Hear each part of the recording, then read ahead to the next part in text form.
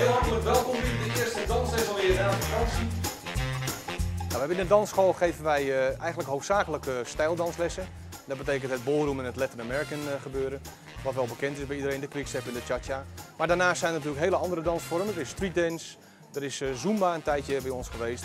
En we gaan een hele nieuwe markt gaan we opzetten in de ballroom nieuwstijl. Het is natuurlijk wel zo dat mensen al jaren bekend zijn met het stijldansen. Maar je ziet een hele kleine afname van het aantal leden die daar enthousiast over zijn.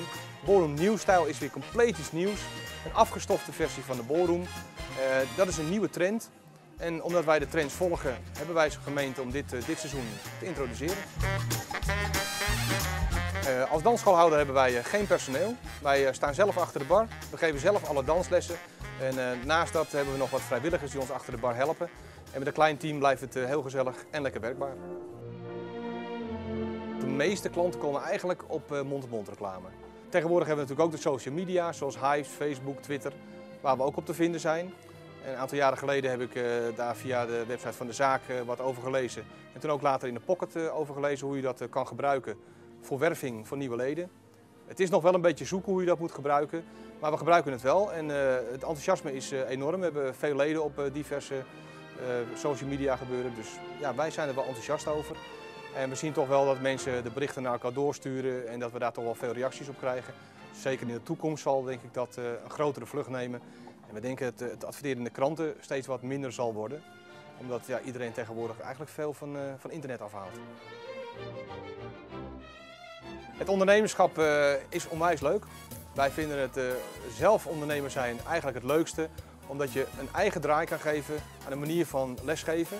De dansen die je introduceert, eh, wanneer je ze introduceert en welke doelgroep je ze introduceert.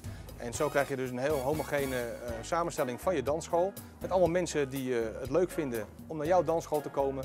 Omdat je een bepaalde visie hebt daarover. En wij vinden dat gewoon onwijs leuk om te doen. De minder leuke kanten van het ondernemen is de, ja, eigenlijk de hele administratieve rondslomp die erbij komt. In het verleden was je gewoon klaar als je een, een, een simpele administratie bijhield.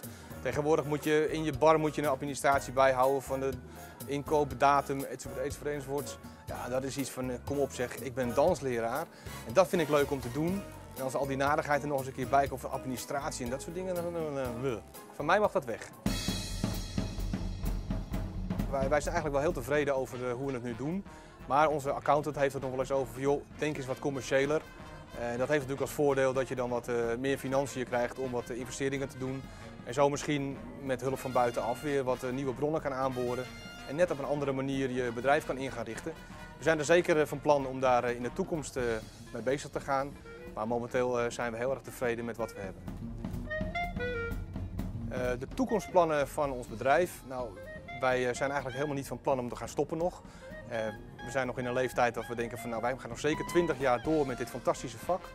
We willen uiteraard natuurlijk wel, wel in groeien nog. We hebben de afgelopen jaren vanwege de crisis een beetje een, eh, een stilstand gehad. Maar de komende jaren zijn we zeker van plan weer het boel uit te, brei- te breiden en uit te bouwen. Met nieuwe doelgroepen, nieuwe manieren van dansen.